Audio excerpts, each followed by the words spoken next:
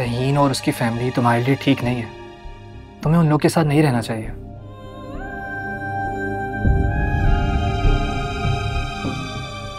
ऐसा क्यों कह रहे हो? तुमने कभी सहीन के फादर के बारे में सुना? नहीं। क्योंकि वो तुम्हें उनके बारे में बताना ही नहीं चाहते। तुमने आज तक उनकी कोई तस्वीर देखी?